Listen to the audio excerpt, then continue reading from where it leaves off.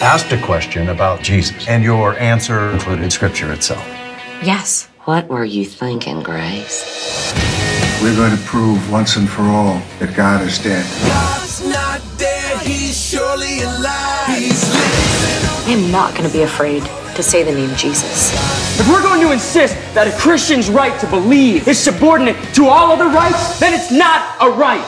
God's not dead, he's surely alive.